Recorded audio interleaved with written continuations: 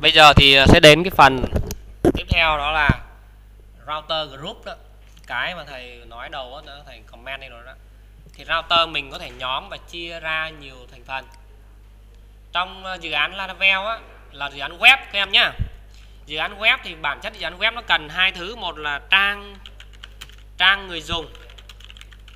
Hai là trang quản trị.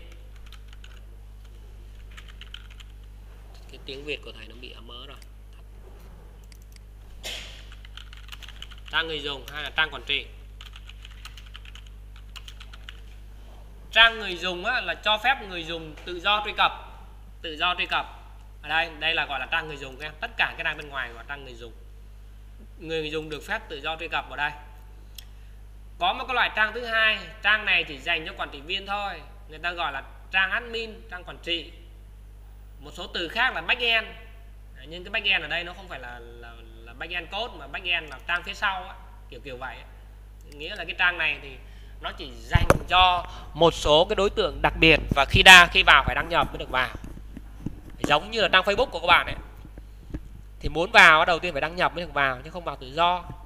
À, nhưng mà web đặc thù thì nó phải có một cái trang người dùng để cho người ta vào xem hàng trước đã. Người ta thích mua gì đó mới mới tính tiếp việc đăng nhập.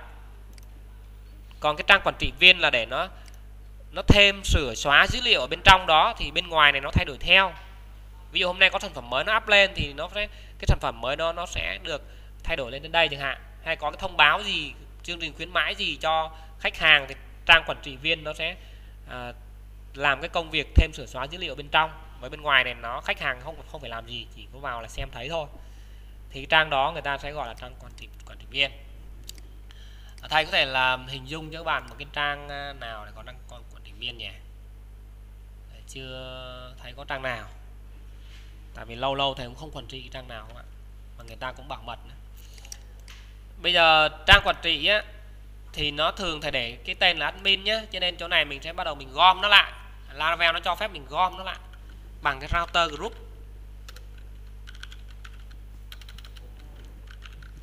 Cái group này này nó cũng có hai ờ, thành phần hai hai hai tham số. Tham số thứ nhất là một cái mảng tham số thứ hai thì nó là cái function gọi lại thôi gọi là callback function thôi.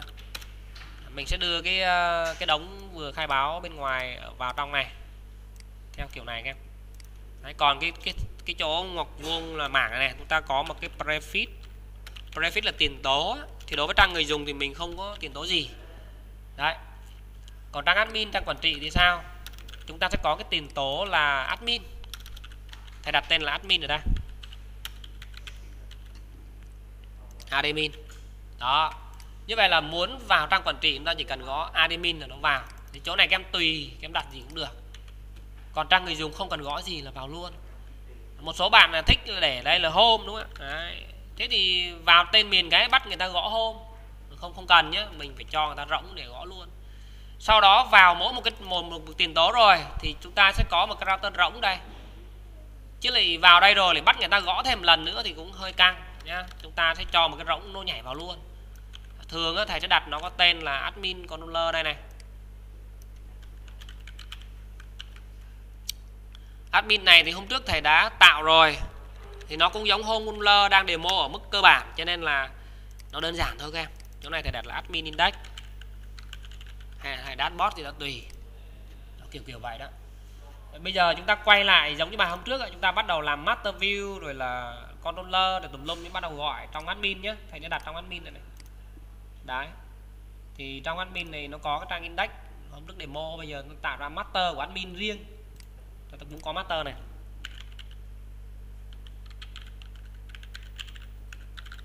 Thì cái master này thì chúng ta cũng chiếu theo quy tắc như bài trước thầy vừa hướng dẫn đó là đầu tiên mình phải tìm một cái giao diện mình copy toàn bộ CS JavaScript hình ảnh vào đây.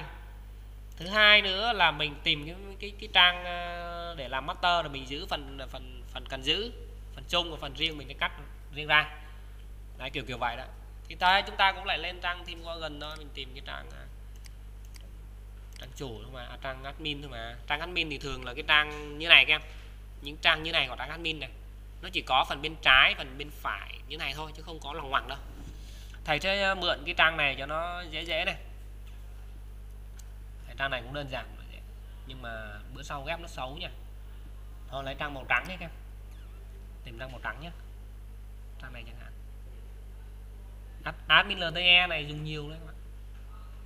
Admin LTE dùng nhiều quá rồi. Video này thầy thầy cũng quay admin LTE bây giờ thầy đổi một tí. Cho nó mới mẻ đúng không đây, cái này đi. Ok, mượn cái này xem. Đào về.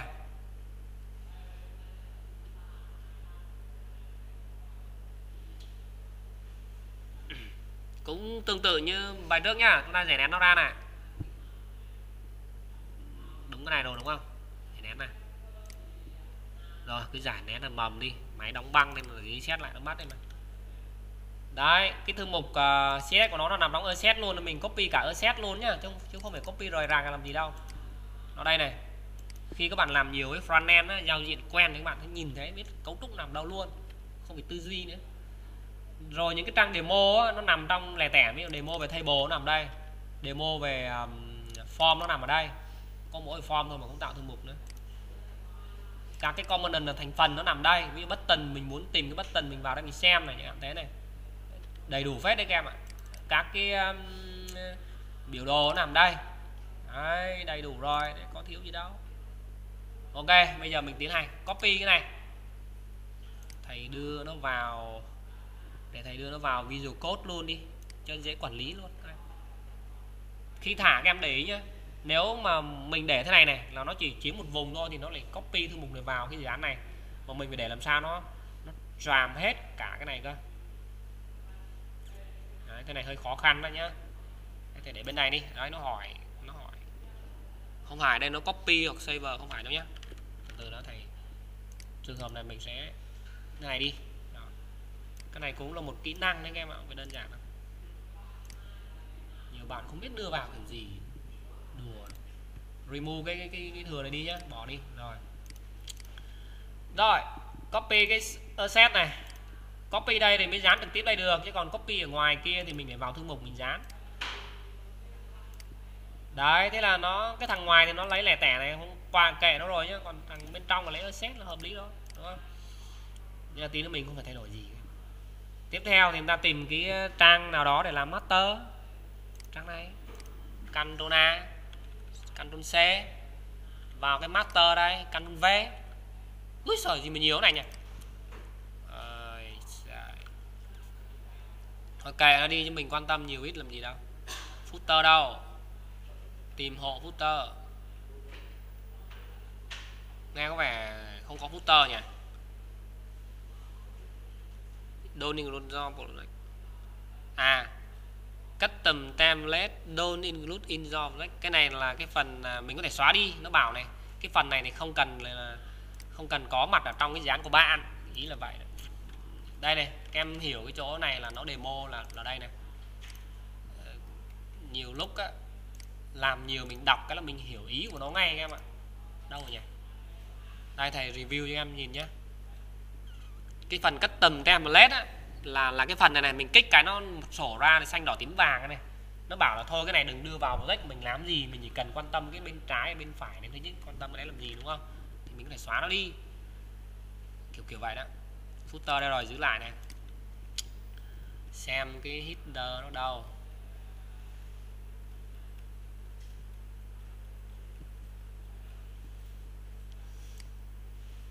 Ui, nó dài quá. Tí nữa có thể là mình à, làm cách nào đó mình xóa kiểu gì chứ nó dài quá.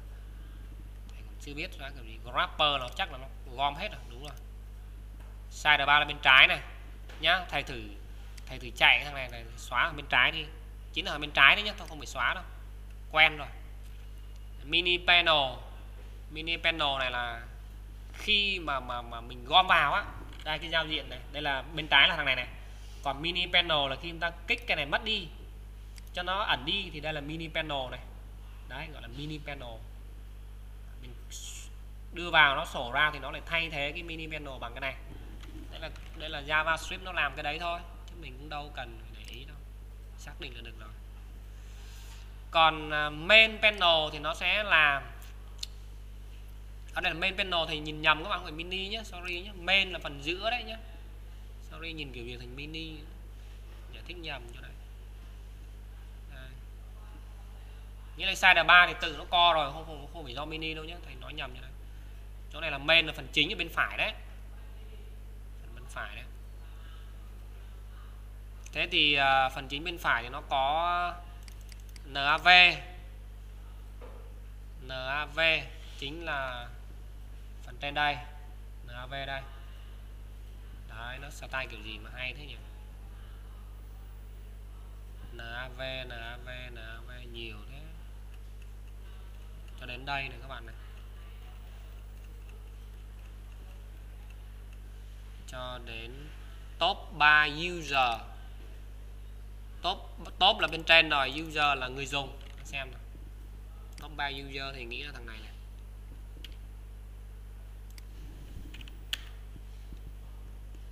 top 3 user thì nghĩ là thằng này này đó, thằng này này top 3 user user là người dùng đó. Đoán vậy drop down thứ nằm đây.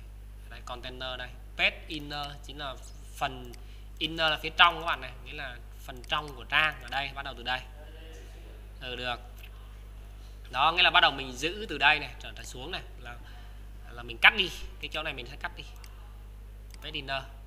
Đấy, là đúng rồi đó. Nó chỉ dẫn thế là đúng được em. Rồi, thế bắt đầu chỗ này thầy cắt đi nhá. Thầy để nhiều đây. Chúng ta cũng để body thôi chứ đừng có để nhiều tên nó loạn. Nhiều lúc chúng ta tư duy là thôi mỗi thằng một khác. Thực ra như thế nó làm cho mình loạn em ạ mình cứ có quy tắc đi, cái nào thuộc phần thân thì gọi là body thì cứ dùng body thôi. Sau này cứ thế dùng thôi chứ. Nó khổ đấy bây giờ cho này extend.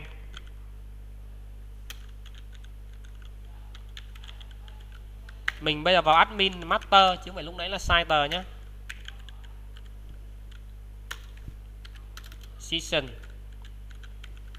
vẫn là body. Đấy, và đây sẽ làm stop và các bạn à, dán cái phần còn lại bên trong của trang này vào đây. Ở đây à, chúng ta lưu ý nữa là chúng ta cần có admin controller và file index nhé và gọi đến cái trang à, view này này. Còn trang view nào nó với tem thì mình vừa demo rồi. Chỗ này thầy xem controller. Bạn nào chưa có admin controller thì tạo admin controller như này. Rồi chúng ta có này là được rồi đúng không ạ? Chạy thử nào. Khi mà có group á, thì chúng ta sẽ đi qua group trước này admin này. Đây là group của mình. Syntax lỗi ngữ pháp token ở trang nào đây? Ừ. à trang uh, router các bạn ạ router biết là lỗi gì biết cái gì để lỗi rồi. Mở rồi.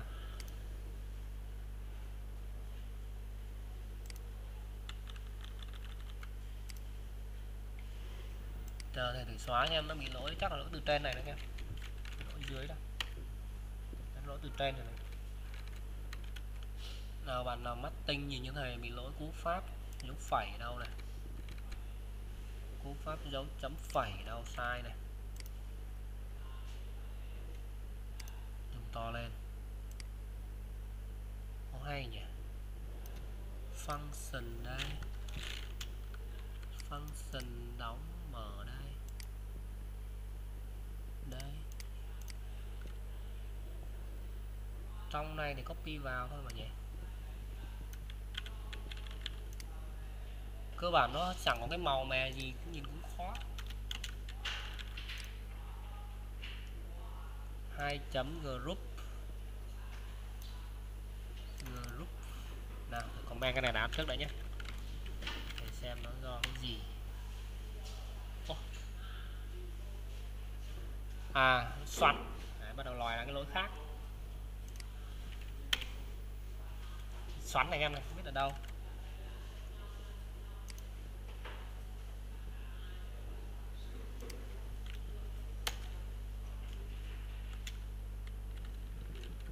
Ô, hay nhỉ.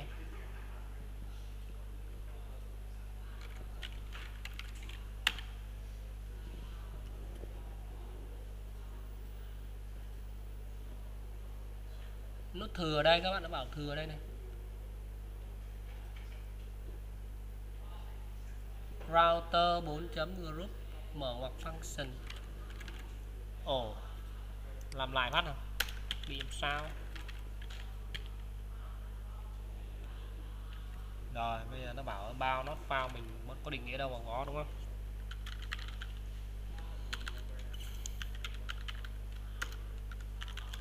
Chấm phẩy là chắc này. Sau đó một vuông.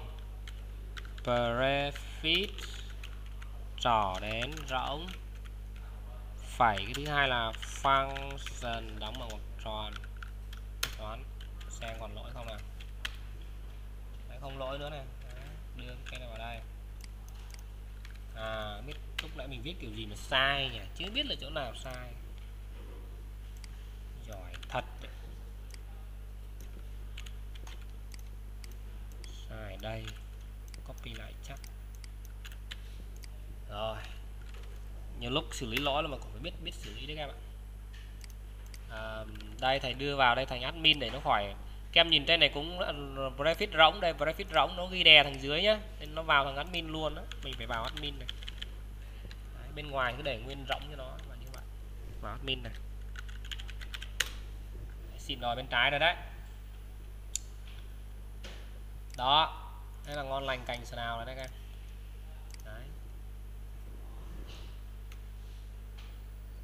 Cái giao diện màn hình to nó vừa thế này vừa này, màn hình này bé bé, nó bị thế này. Thế này là đúng đẹp chuẩn của nó đây. Việc tiếp theo thì các bạn nên à, cắt tầm à, một chút. Ví dụ cái gì thừa mình để lại tên, tuổi thứ này chứ đâu cần để nhiều đâu, đúng không? Trên này là cái, tên này là cái à, cái thanh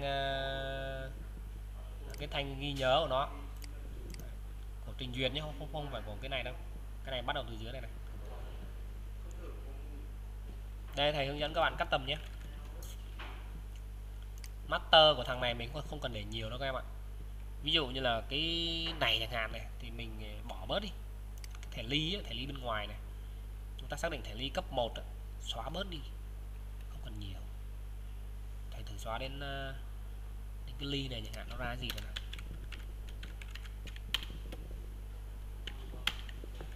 đâu là sao xóa không được nhỉ?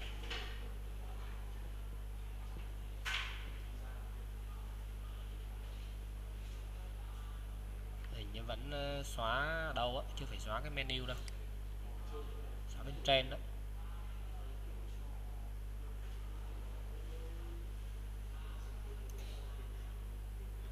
drop down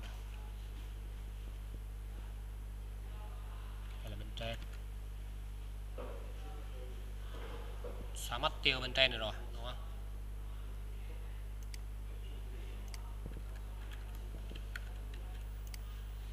Bên trái là side 3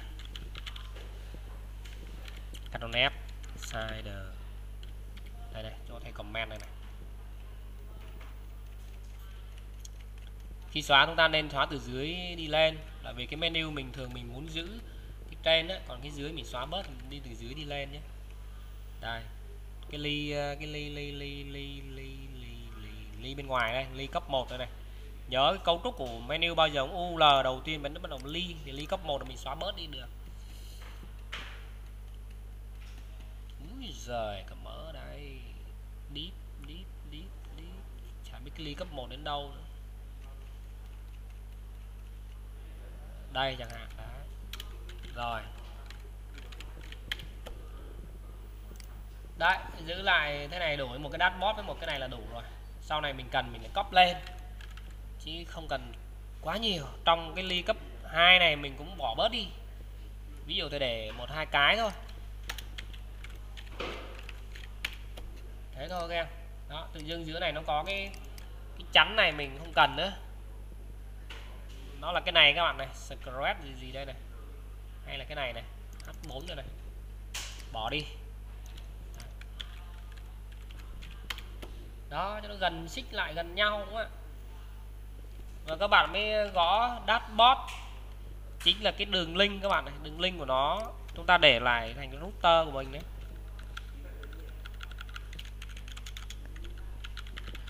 Router, tên là admin chấm index đấy.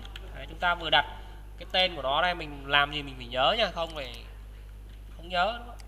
rồi mình có thể có category này à category mình cũng làm một cái prefix một cái group con ở trong cái group group admin này. Thì nó cũng lấy cái category làm làm cái trang chính, đúng không ạ? Rồi chúng ta import nó vào.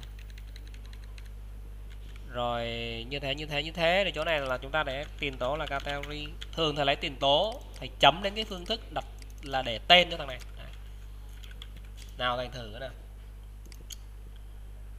admin rồi. Bây giờ chỗ này mình sẽ bắt đầu à, đi vào category này. Đấy. chỗ này thầy để tên là category. Cái tên bên ngoài là đây anh em nhé, tên bên ngoài đây này. Đấy. list category đây, ví dụ add new category hả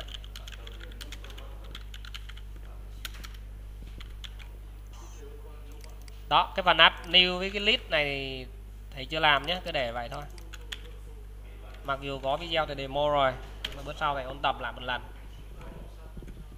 Phải chết rồi thiếu dung nháy.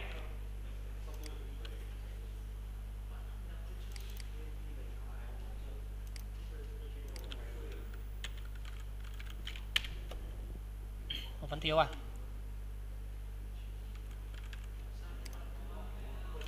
À nhầm bên ngoài nha.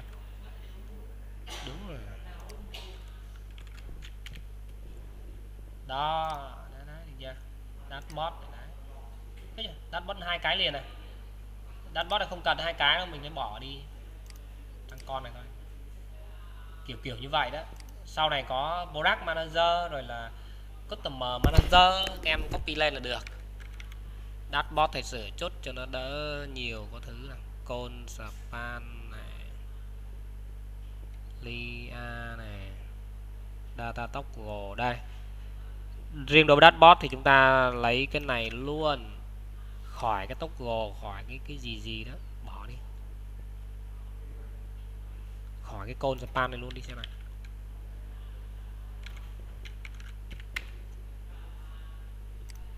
từ giờ đó nó di chuyển là được rồi. Đây này kích vào di chuyển luôn không có sổ cái này ra nữa loằng hoàng làm gì.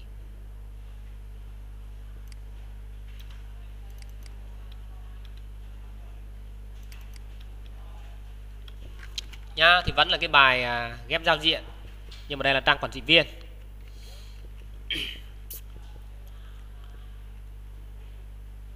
Bây giờ dựa vào cái bài này thầy sẽ làm cho các bạn một cái à, một cái demo về à, quản lý một cái mục ở đấy full nhá. Chỉ là giao diện thôi, đó là có form, có table, rồi có xóa vân vân, đấy, kiểu kiểu vậy đó. Nhưng mà giao diện thôi chứ chưa xử lý logic ở phía backend rồi, vậy thì khi mà các em đã có cái giao diện admin demo rồi thì các bạn phải, trước tiên các em nên tìm hiểu qua là nó cung cấp cái gì trong ấy. Nguyên tắc ấy ví dụ thầy sẽ vào thầy tìm cái table chẳng hạn.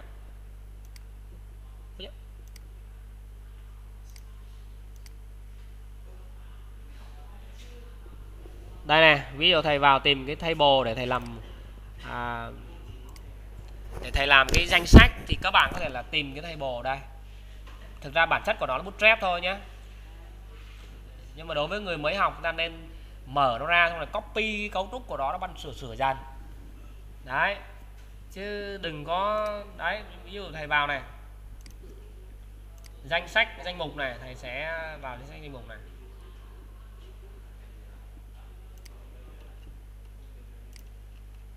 Table đây này, đó, basic table basic table ở trên cái giao diện này, nó cho mình một số cái từ. Basic table đây, mình copy basic table này, mình tìm. Chứ bây giờ tìm trong một kim đáy bể khó. Đây basic table đây. Tìm vài chỗ. Đây bắt đầu từ cái cát này này đấy row rồi md đây chẳng hạn. Thì chúng ta bắt đầu từ cái cát thôi. Chứ mình không cần chia nhiều khung. Nhá thì mình sẽ copy đây chẳng hạn. Thì thành uh, basic table. Rồi chúng ta sẽ mò mò từ cái router. Mình xem cái category controller có chưa import vào đây rồi mình xem. Nếu chưa có cái file ở trong http controller category thì mình tạo nó. Đúng không? Tạo nó xong rồi tạo phương thức để cho nó gọi đến view. Rồi bắt đầu mình lại vào view. Mình vào view này các em cứ mò mò như vậy nhé rồi vào cái resource này à, view này đây mình admin này đến bên category view này admin rồi mình vào category này đấy. Rồi bắt đầu vào cái index. Đó bắt đầu mình sẽ bắt đầu là extend này. Admin chấm master. Sau đó section body. Sau đó dán nó vào để stop ở dưới này. Rồi muốn format thì khởi động lại máy để cho phần mềm nó cập nhật chứ không nó mớ không format được các bạn. Rồi thầy thử click vào um, video giao diện của chúng ta có cái admin này. Đến đây chúng ta sẽ thấy một cái lỗi lỗi cơ bản các bạn. À, lý do thầy chỉ thích nhé. Để các em hiểu đường link à, của mình nó có dạng mấy dạng thế này. Đầu tiên là vào admin thứ hai là admin category hoặc là admin category còn edit để còn một nữa cơ. Sửa mà hay là xóa cũng thế. Nó đi vào nó mấy cấp. À, nguyên tắc của giao diện ấy, là nó sẽ lấy nó tính từ thư mục gốc là public nó đi chui thẳng vào CSS chui thẳng vào set nó lấy. Đó. Thế thì thằng master lúc ban đối với cái link ban đầu nó làm thì nó ok rồi nhưng bắt đầu với link vào trong này cái thì nó không hiểu nữa. Tại vì nó muốn lấy thì nó, nó đang ở trong mà nó phải đi ra. Thầy ví dụ này đang ở set đúng không? Bây giờ các em muốn thì các em phải đi ra một cấp. Ví dụ nhá thầy sẽ lấy một vài cái set ở đây đi, ví dụ đây đi. Nó thầy chấm chấm, chuộc để đi ra một cấp này. Thì nó nhận, đúng không? Đấy. Nhưng mà nếu bây giờ mình ra trang dashboard dashboard vẫn nhận. Dashboard vẫn nhận nha. Thầy thử đi vào một cấp nữa đi, xem nào. Một cấp nữa, thầy, ví dụ như là thầy thêm một cái category này edit này. Rồi, thầy để tham số đây. Là một chẳng hạn. Là ID chẳng hạn. Thầy chưa sửa cái này nhá, thầy chỉ để test thôi. Vào admin này. Category này. Một này. Nó các em thấy nó vẫn không nhận. Thế thì làm sao mà mình chiều chuộng được hết các cái loại đấy được, đúng không? Lúc thì phải đi ra, lúc phải đi vào. Bây giờ thằng này phải đi vào đến, đi ra đến hai cấp các bạn. Thì nó mới nhận cơ đấy còn không nhận luôn. Hay là ba cấp. Edit mà vào KT và edit vào thằng số 1 cũng không nhận luôn. Nó tóm lại là cách này không ổn nhé thì chúng ta chỉ cần đơn giản thôi có gì đâu. Nó trên đây này đặt cái thẻ base. Có href. Bằng. Trống đi. Cái thẻ bay này có cái tác dụng của HTML ấy, có tác dụng là nó sẽ đưa cho dù mình đang ở cái trang nào thì nó vẫn chỉ đưa cái um, cái cái cái cái tên miền về, cái tên miền gốc. Kể của mình đang ở đây thì nó nó cũng đưa tên miền về, tên miền gốc cho mình. Ở đây là nó đang báo 404 nốt phao các em ạ. Đấy. edit.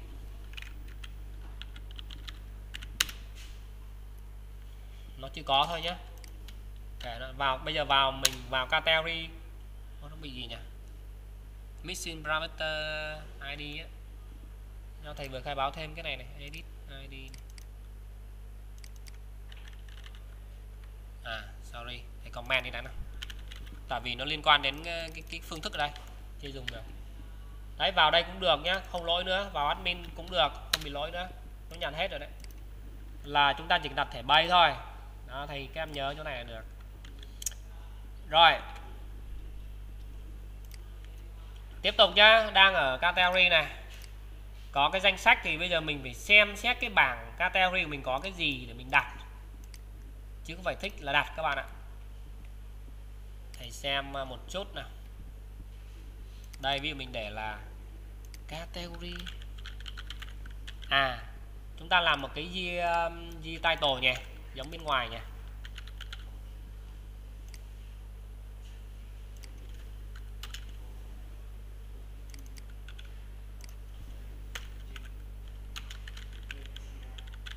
Kiểu kiểu vậy mà nó dơ cho nó hoành táo ừ. bên ngoài đặt một cái gear title đi, cho nó cho nó xịn đi. Trên đầu trên đầu thằng master tìm đến cái title title title title. Ở đây không có có thể title à? Bên cùng à? Đây là admin này. Tên dự án là gì đó này. Nó đó tay tổ nối vào đây này.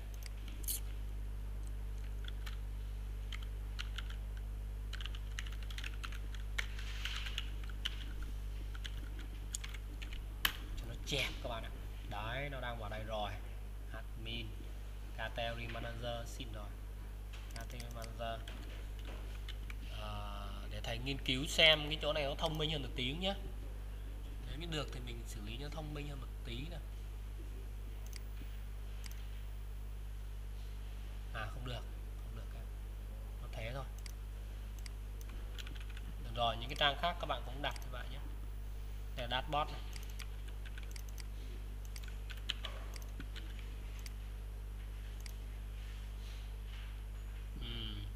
ở đây mình thiếu một cái phần các bạn ạ phần uh, các em nhìn thấy cái chữ dashboard đây không? Dashboard này, admin dashboard thì bootstrap gì đây này, tùm lum này.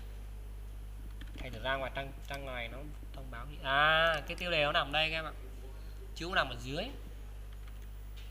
Thế thì thế thì thầy có một ý tưởng thế này, đó là đó là cái phần này này, chúng ta cắt ra ngoài à, ra ngoài master luôn đi. Tìm cái gear body này. Chúng ta để bên trên luôn. Và thẻ đóng của thằng này thì mình thêm ở đây là được đúng không ạ? Nghĩa là inner. Và mình đặt thêm cái gear title đây này. Nghĩa là cái gear title cái cái cái, cái bên ngoài cái gear này mình có đặt cùng một cái ở nhiều nơi. Để khi mình chạy thì nó đều nhận hết các đấy nó nhận hết đó ra bây giờ thầy vào category nó cũng nhận cái ờ, category manager cái tiêu đề mình vừa đặt đấy các em này. Đấy bên dưới mình không cần nữa. Nghĩa mình chỉ cần viết một lần ờ, cái title thôi thì nó nhận tên nhận dưới dưới này không cần đúng không kiểu kiểu như vậy đấy, hình dung nôm na là vậy. Đó nó đẹp thôi. Rồi thầy sẽ xóa bớt cái cái thừa này đi này. Đó. còn ở đây ờ, cái chỗ này là cái cái gì nhỉ? À cái chỗ này là cái cái cái bên trái này này. Đấy nó có hai cái này này. Có, có cần dùng không nào? Thôi bỏ đi nhá cho đỡ to đó xấu. Đó thế này thôi cái tiêu đề thôi. Thành tìm kiếm. Rồi kiểu kiểu vậy đó. Thì ờ, chỗ này là thầy thầy lâu lâu một tí để cho các bạn hiểu cái cái cách dùng cái dia thôi thêm về cái dia thôi có những cái mình dùng chung mình cứ tạo lần nên rồi dùng chung nhiều nơi. Ok. Tiếp tục. Đang ở category index này.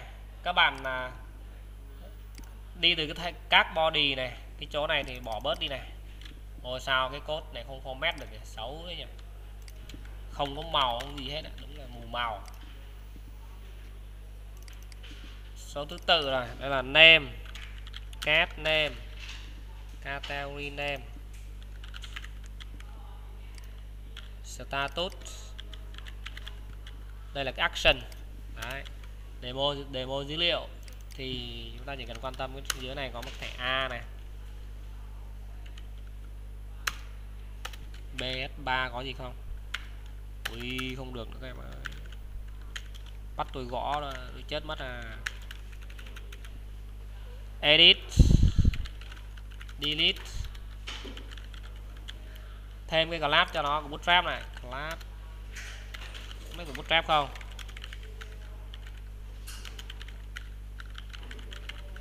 Đấy. Cốt cái nào thuộc collab nha. Chưa thuộc thì chưa cốt được đâu.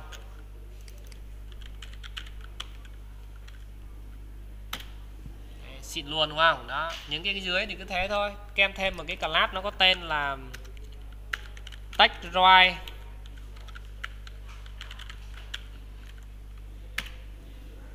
Hay là không roi được à? Thì tôi style cứng xem nào. Float right à, take align right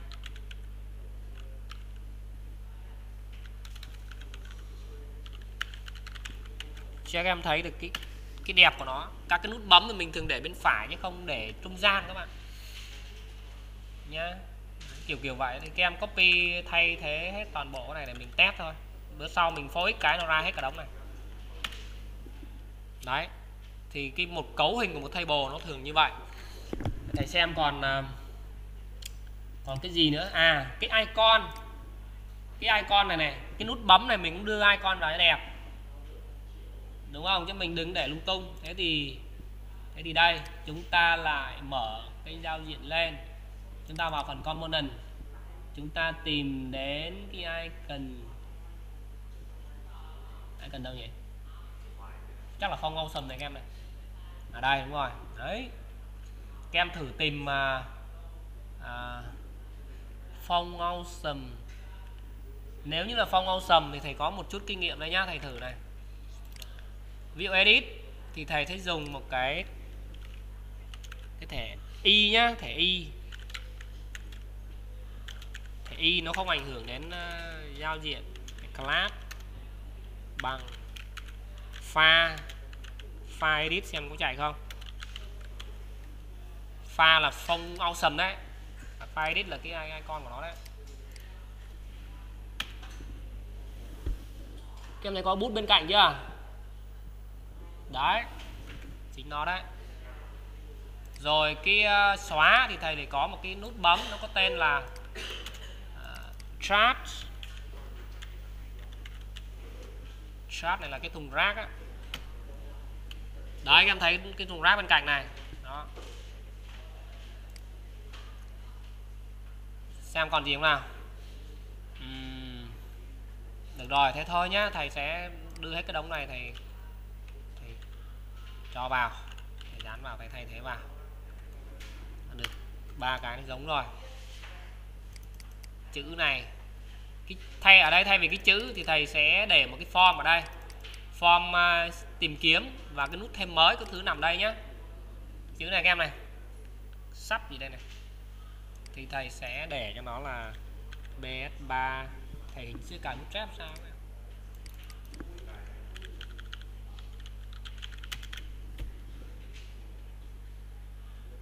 cài nhưng mà cũng bất lực bất lực mày uống nó không có cài đâu bút tép ba attention please uh, check lock more detail chết tôi rồi.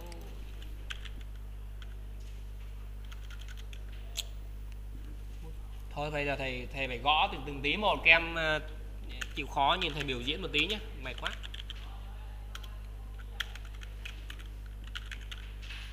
Form inline action sẽ bằng uh, rỗng. Thế thôi. Đóng một form này. Nào, khi nào các em thuộc code được như thầy code đấy nha. Deep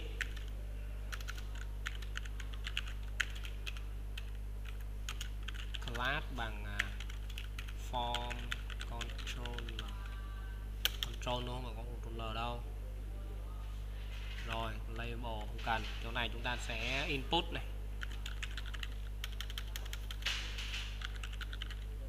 À, trên đây là form group dưới cái form control form group nhóm đó class bằng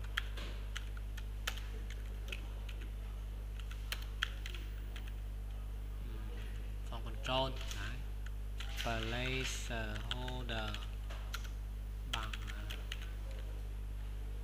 nhập đó, enter name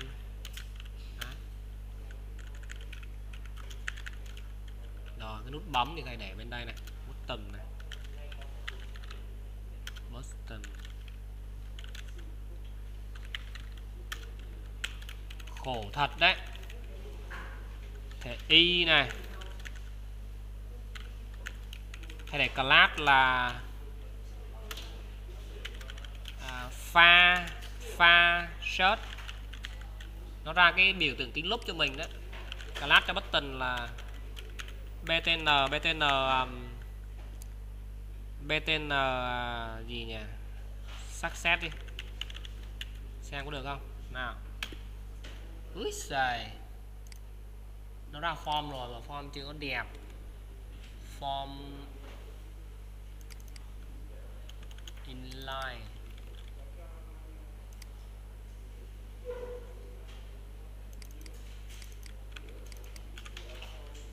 Mới là bút chép mấy nữa. Ok đi.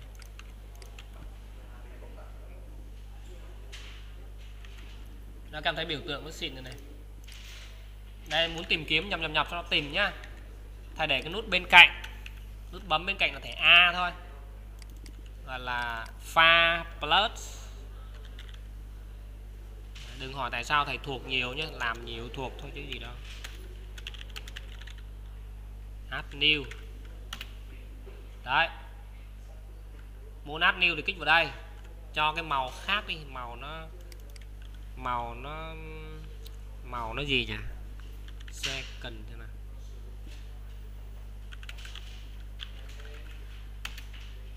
Không có màu này. Whirling.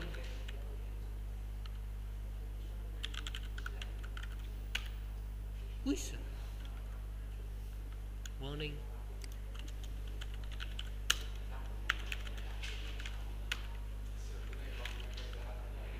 Warning không có gì cả. Đấy. Thêm mới, đấy. Ở dưới này có phân trang em này, Phân trang dữ liệu, nha.